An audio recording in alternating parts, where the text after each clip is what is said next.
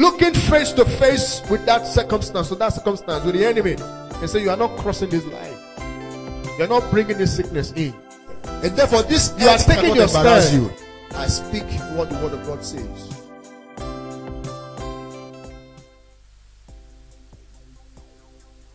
You've heard people say, Well, I love my car. I just love this car. I just love this house. Just love. The Bible tells us in 1 John 2:15, it says, Love not the world, neither the things that are in the world.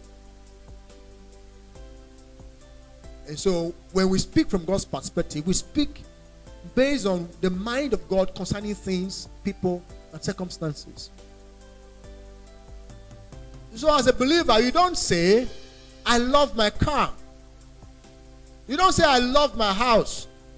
You don't say, Oh, I just love this dress. Or I love this thing. I love this soup. I love this dish. the Bible says, Love not the world. That are the things that are in the world. So, how do you speak of those things? In First Timothy, Paul tells us how we should speak of those things. Amen.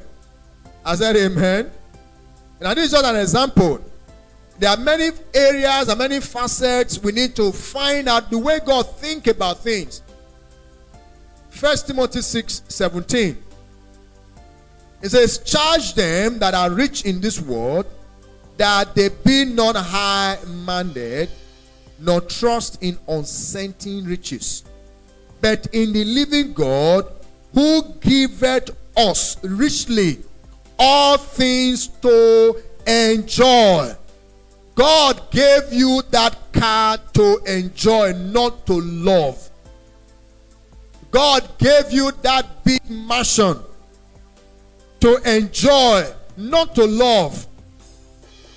God brought that palatable, delicious jollof rice dish, plate of jollof rice for you to enjoy, not to love.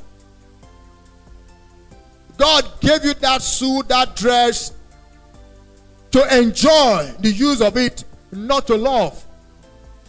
And so you don't say, I love my car. I just love this car.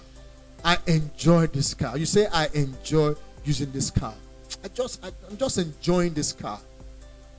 Hallelujah. When you are speaking like that, you are speaking the way God is speaking.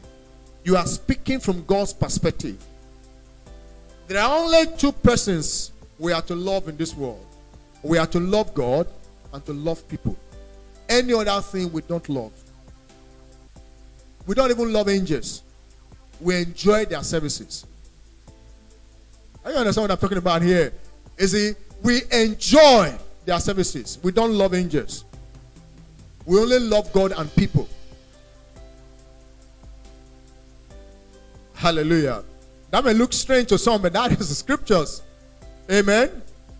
And so you enjoy your job, you enjoy life, you enjoy good health, you enjoy you enjoy the car, you enjoy your marriage, you enjoy you enjoy the, the, the mansion, you just enjoy these things. God says that He gives us richly all these things to enjoy. He gives them to us richly, abundantly to enjoy. Glory to God. That is why I said those who are rich in this world, they should not be high minded. They should not lift up themselves above others. Because all these good things God has given them to all of us richly to enjoy.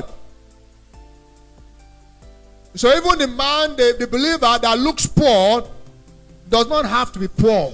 He doesn't have to because God gives us all these things richly to enjoy. Glory to God. I said, Glory to Jesus.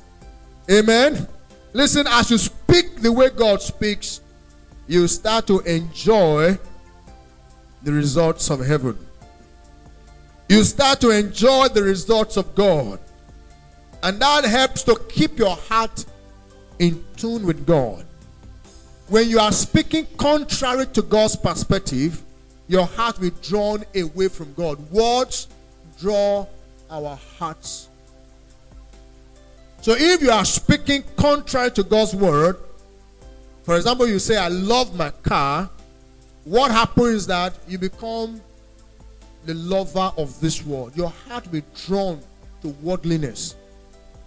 But if you see your car or the house as something to enjoy, which God's word says, it doesn't take your heart away from God because you know that it is God that gave you the car, the house to enjoy. So your heart is always with God.